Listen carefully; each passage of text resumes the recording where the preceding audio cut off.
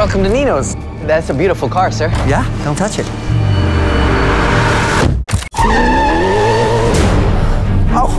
Hey folks, how's it going?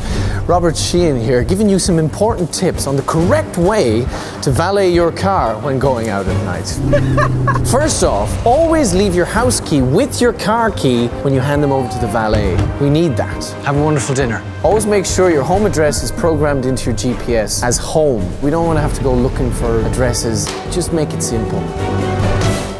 We're in. Don't leave the dog at home when you go for dinner. The dog will get lonely. Bring the dog. You can bring the dog into the restaurant. Easy boy. Especially if it's a big dog. If it's a big dog, do not leave it at home. And remember, take your time at dinner. Chew slowly. There's no rush. You don't want to get indigestion or heartburn. What are you writing a book? I just need my car. Thank you for listening to these tips. Remember, yeah. Oh, and also remember to go see my new movie, Bad Samaritan, in theaters May 4th nationwide. It's going to be awesome.